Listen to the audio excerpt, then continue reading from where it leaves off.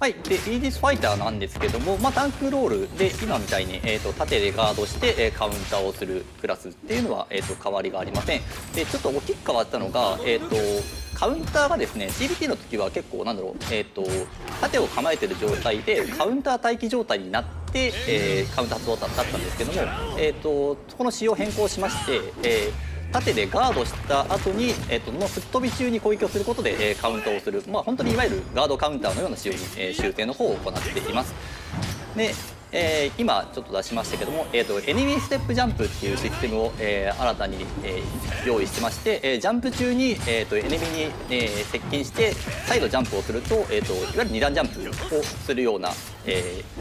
ー、システムとなっております。